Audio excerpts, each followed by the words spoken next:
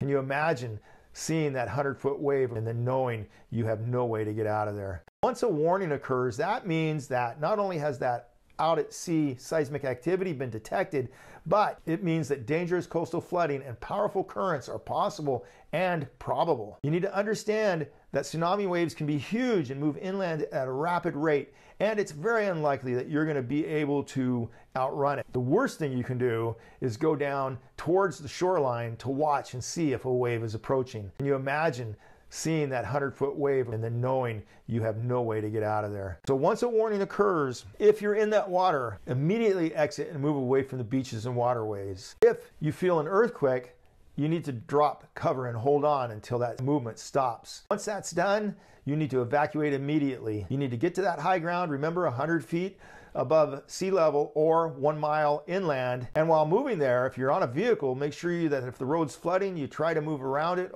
to get to that high ground. And once you're there, you monitor your NOAA radio. You want to make sure that the all clear has been given before you might return to any area impacted by the tsunami.